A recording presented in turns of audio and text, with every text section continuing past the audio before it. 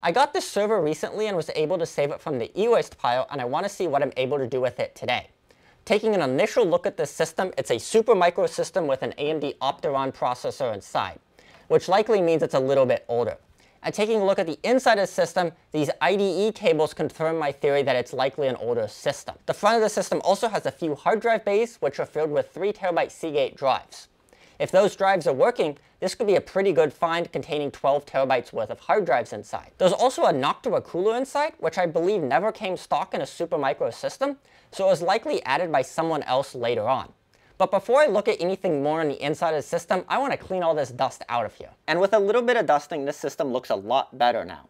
Looking at the motherboard, I can't quite find the model number of it yet, but looking at the socket layout, it looks like an AMD C32 socket, which is a bit over 10 years old now and had CPUs that were similar to the Phenom 2, Bulldozer, and Piledriver based CPUs on the desktop. It also has three 16GB DDR3 registered DIMMs, which seems a little bit odd because it is a dual channel CPU, so it's weird they want to either put two or four sticks in for better performance. It has four 3 terabyte hard drives for data and another hard drive tucked in here that I can't find an easy way to access, so I'm not sure what the drive is. At this point, I just want to fire it up, see if it turns on, see if there's any information or OS that it boots into, and I'll see where it goes from there. So now it's time to plug in the system and see what I get.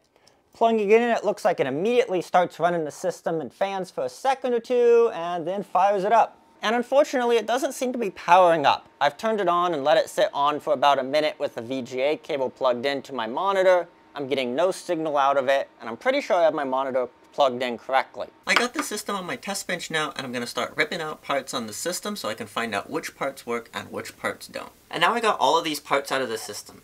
Some of the interesting things I noticed was Supermicro uses a almost ATX mounting system, but not quite so it doesn't use the back mounts, it uses internal ones. There was two more hard drives hidden in here, both of which are 3 terabyte WD green drives. One was plugged in, one wasn't. One was in this little 5 and a quarter inch adapter, and one was just kind of shoved into a 3 and a half inch front bay drive adapter. On the motherboard, there was two Noctua fans exhausting air out, which normally is not how you want to do it because you want the air to go one direction, which seems wrong. And other than that, it looks like just an old dusty system. So I'm going to just start testing things like the motherboard, the drives, and everything else individually to try to find out what, which of these parts work and can be reused, and which of these parts are going to go into e-waste bin. I got a little motherboard test bench set up right here. I have the integrated power supply powering the motherboard with the cooler and two sticks of RAM, and hopefully this motherboard will just fire up. And with a little bit of playing with memory configuration, I was able to get this board to post, and now I can see and enter the BIOS on the system. Inside this system, I have an AMD Opteron 4334, which is similar to an AMD FX 6300 on the desktop. The board this system came with was an H8DCL-6/IF. It seems like a relatively decent board. It is missing some of the features like the separate SAS controller, but it still has four X8 slots and an X16 slot, it has the dual socket capability if I wanted to add that later on. I also took a look at the hard drives to see what their reported health was. All of the Seagate drives had roughly 37,000 hours on it with no reported errors, and the WD Green drives had roughly 20,000 hours on it with no reported errors. Although the WD Green drives had quite a few load and unload cycles, which can potentially cause issues and these green drives aren't known for being the most reliable. And overall, this seems like a pretty decent platform. While it is 10 years old and missing out on a lot of features, it still has a good amount of expansion room on the motherboard. Power consumption isn't that bad. 48 gigs of RAM and the older 6-core processor is still decent for a lot of use cases. And the 6 SATA ports and 6 3TB hard drives gives me quite a bit of storage space I can use. So my thought is put TrueNAS on the system, make a little NAS out of it, and see how well the system works as a NAS. So I finished cleaning up this system, and now the case, motherboard, power supply, and other components are much cleaner than now I got them and I plan to put this system back together to be used as a TrueNAS system, but I'm going to make a few changes before I put it back together. The big addition is this 80GB SSD that I'm going to be using as a boot drive for TrueNAS. I'm also going to be removing a few components that I don't need. For example, the back fan is almost useless in this system because it doesn't have a side panel. I'm going to remove the DVD drive because it's useless these days. And then I'm going to use the four Seagate drives in a RAID Z or RAID 5 in as the main storage array. And that leaves me with one open SATA port if I wanted to do something like a cache drive or a mirrored boot drive. This setup would give me two extra 3 terabyte drives that I could use as cold spares in case one of the 3 terabyte drives in the array fails. And let's take a look at the system once I finish constructing it. And now I finished building the system and it looks a lot better on the inside than when I got it. And now it's time to install the operating system. So I'm going to be installing TrueNAS Scale on this system. Looking at the differences between Core and Scale, they are pretty similar features-wise. And Scale runs off Linux, which generally has better hardware support, so why not run scale is from everything I can see.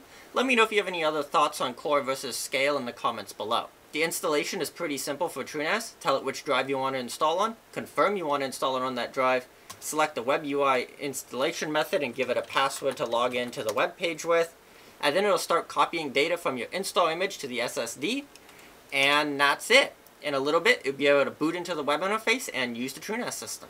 TrueNAS is finished installing on the system, and now I can look at the screen and see the IP address of the system, and then I can go into the browser on my computer, type that IP address in, and I see the TrueNAS Scale login page.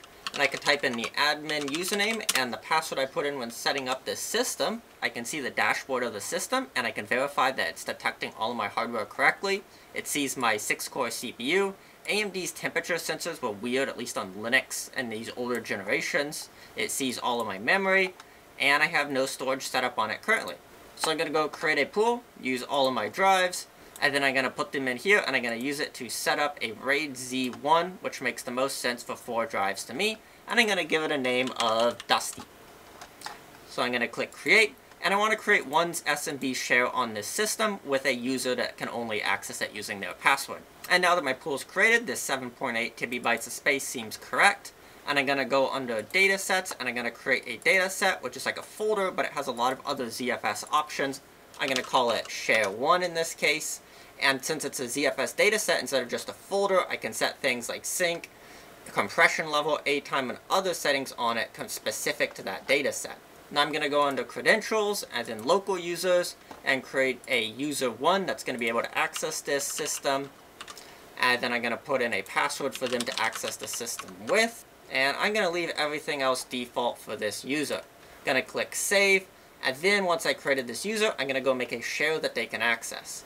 So I have this share here, I'm going to click Add, I'm going to give them the location that it's mounted at, so share 1, default share parameters, and hit Save.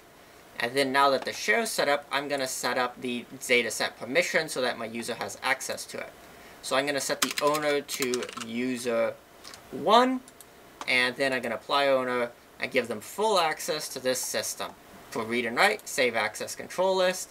It's going to save that to the system.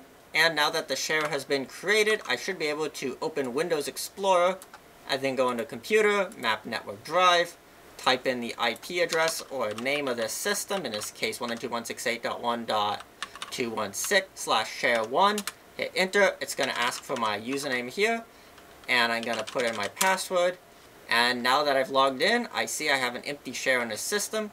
Looking at the space in Windows, it has that 7.78 TB of space. And as a quick speed test, I'm going to copy some video files to the NAS over the network. And taking a look at the speed test, it looks like it's hitting the limits of gigabit networking. So this system's working about as fast as it could. And now I have a NAS from parts that I got for free and a spare SSD that I put into it. And with a little bit of cleaning, tweaking, and OS installs, it's made into a quite good NAS that's able to fill gigabit speeds, and I can install apps or other programs on it if I see fit. Yes, there are compromises, and I would not have chosen this hardware if I was buying it, but it's not bad, especially for being free. One other common critique of older NAS systems is the amount of power consumption that they use. And this NAS is currently using about 80 watts at idle, and about 100 watts when copying files to and from it, which is a good amount more than a new low-power platform would use. But I will mention 40 of those watts are these hard drives that are spinning, and the base platform alone only uses about 40 watts. So getting even a super low power platform that idles at 10 watts would only net you down to about 50 watts at idle, which while being a significant improvement, isn't that big. And yes, you would save money with lower power consumption, but it likely wouldn't pay for new hardware in a situation like this. Thanks for watching this video, and hopefully this gave you a few ideas of what you can do with an old system like this. Let me know if you come across old systems like this and what you like to do with them.